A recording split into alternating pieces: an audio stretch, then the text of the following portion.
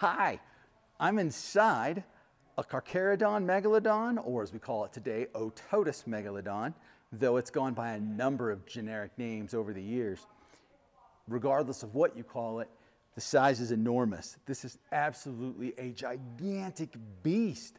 This thing lived up to 5 million years ago when it went extinct. There are none alive today, despite some rather questionable movies about them, shall we say. But look at the enormousness of this animal. It would easily swallow entire groups of people whole. I love it. There's lots of debate about how long it is, how heavy it is. What do we call it? This is one of the most controversial animals. And the reason is sharks don't leave behind skeletons. They're cartilaginous. They almost never do.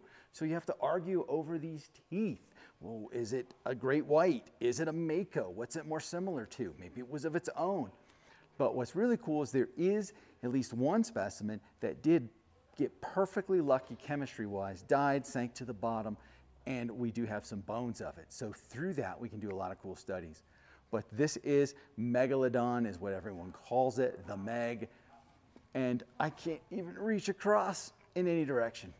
Dr. Brian Curtis with Fossil Crates on location at the Rocky Mountain Dinosaur Resource Center saying, thank you kindly, adios.